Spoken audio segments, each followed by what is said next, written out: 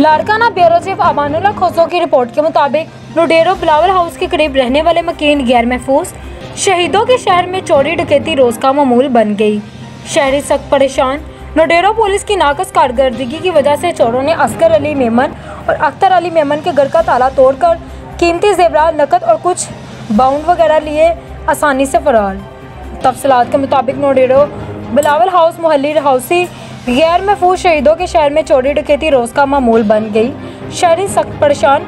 Nodero police की नाकस कारकर्दगी की वजह से चोरों ने असगर अली मेमन और अख्तर अली मेमन के घर का ताला तोड़कर अलमारी से 10 तोले जेवरात और अठावन हज़ार नकद रकम के बाउंड भी शामिल थे।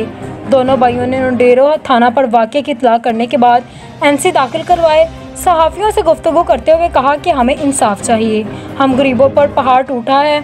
हम प्राइवेट जॉब करते हैं। प्राइवेट जॉब करते हैं, अपने मेहनत से ये सब कुछ बनाया था।